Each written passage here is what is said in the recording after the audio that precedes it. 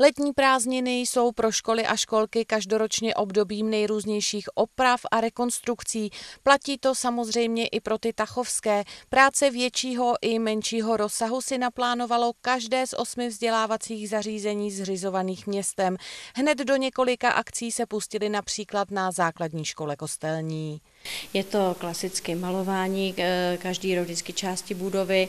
Pustili jsme se do přestavby šatny, kde děláme novou podlahu, eh, upravujeme místnosti, jako je třeba archív. Potřebného zásahu se dočkalo také sociální zařízení pro zaměstnance. V některých třídách se měnila umyvadla, obklady a podobně.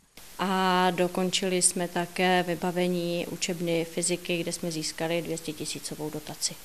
Základní škola Zárečná zařadila na seznam prázdninových oprav například kompletní rekonstrukci schodiště k jídelně. Pokračuje také postupná modernizace sociálních zařízení. Tentokrát přišly na řadu toalety v prostorách školní družiny. A jinak samozřejmě děláme drobné eh, práce, které dělají školníci, to znamená nátěr tabulí, drobné opravy, malování a další a další věci, které je třeba připravit do mm, školního roku. Veškeré úpravy jsou aktuálně podle ředitele z 90% hotové. Před zárečnou je však ještě jedna stěžejní a dlouho plánovaná akce. Je pravda, že ty práce, které jsme teďka udělali, jsou velmi důležité, ale to nejdůležitější by nás mělo čekat. Já říkám, by nás mělo čekat, ale věřím tomu, že to tak je stoprocentní. Od října by mělo dojít eh, zateplení školy, to znamená výměně všech oken, eh, oprava fasády a střechy. Na realizaci se městu podařilo získat dotaci, o což se pokoušelo několik let. Vše se bude dít za provozu, což samozřejmě nebude pro školu nijak jednoduché. Mělo by z práce začít 1. října a my jsme si řekli, že to zvládneme. Prostě ten jeden rok to vydržíme, aby škola byla úplně jiná než je teď.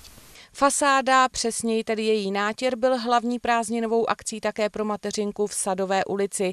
Souběžně s tím se natíraly okapy a parapety. Ve Štadrocké modernizovali hlavně vnitřní prostory, když se pustili do výměny lina ve všech pěti třídách. Stihli jsme u toho eh, takové ještě menší, jako bych řekla, opravičky, což byly vymalování takových prostůrků, kam eh, se tak často nechodí. Eh, doladili se v některých třídách nátěry zdí, aby se ta třída se trošičku jakoby vyšperkovala a ještě se dělaly úpravy v kuchyňkách právě dole v, těch, v té oranžové budově. Zmíněná výměna lina byla pro školku v podstatě nutností. Původní zde bylo od jejího otevření tedy 36 let. Do dvou tříd dostanou ještě nové koberce, jinak už jsou povrchy hotové. No já bych chtěla moc poděkovat svým učitelkám, uklízečkám i ostatnímu personálu, že vlastně to stihli za provozu. Za během měsíce, když tady byl pořád provoz, tak se jim podařilo, podařilo ty třídy vyklidit, připravit ta, na tu práci, ale pomáhly i dětičky, takže to bylo úplně fantastický.